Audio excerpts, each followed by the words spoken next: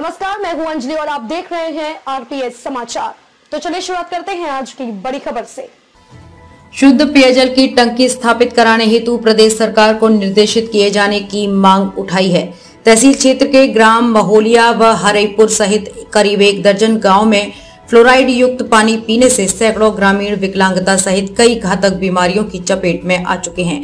ग्राम आम्बापारा निवासी उच्च न्यायालय के वरिष्ठ अधिवक्ता फारूक अहमद एडवोकेट ने उच्च न्यायालय खंडपीठ लखनऊ में जनहित याचिका दायर कर फ्लोराइड युक्त जल से प्रभावित प्रत्येक गाँव में नई तकनीक के आधार पर शुद्ध पेयजल की टंकी स्थापित कराने हेतु प्रदेश सरकार को निर्देशित किए जाने की मांग उठाई है।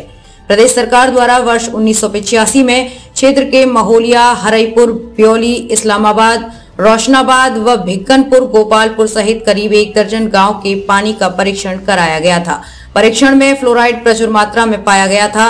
तब सरकार ने ग्रामीणों को शुद्ध पेयजल उपलब्ध कराने हेतु वर्ष उन्नीस में ग्राम व्योली इस्लामाबाद की ज़मीन पर पानी की टंकी स्थापित कराई गई थी। इसी ओवरहेड टैंक से पाइपलाइन के ज़रिए फ्लोराइड से प्रभावित ग्रामों में जलापूर्ति की गई थी, लेकिन तकनीकी खराबी के चलते टंकी से जलापूर्ति एक वर्ष भी जारी नहीं रह सकी।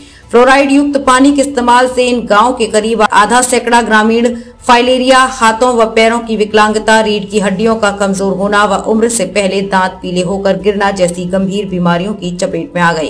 प्रदूषित जल पीने से सिर्फ़ एक गाँव, महोलिया के ही कुल इक्यावन लोग गंभीर रूप से बीमार हैं। ग्रामीणों द्वारा जनप्रतिनिधियों और प्रशासनिक अधिकारियों से शुद्ध पेयजल उपलब्ध कराए जाने हेतु दर्जनों प्रतिवेदन दिए गए। लेकिन अधिकारियों द्वारा ग्रामीणों की अर्जियों पर गौर न कर उन्हें रद्दी की टोकरी में फेंक दी गई।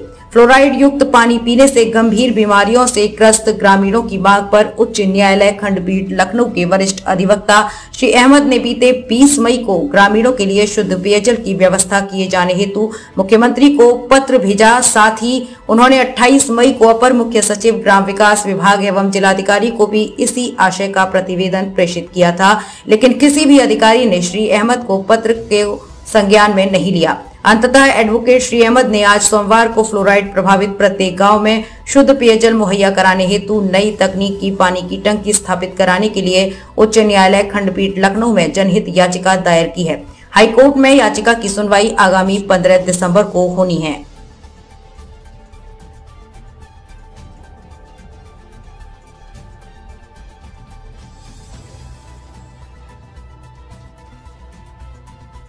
खबरों में अब तक लिए बस इतना ही, मिलते हैं फिर ऐसी ही बड़ी खबर के साथ। तब तक के लिए नमस्कार और देखते रहिए आरपीएस समाचार।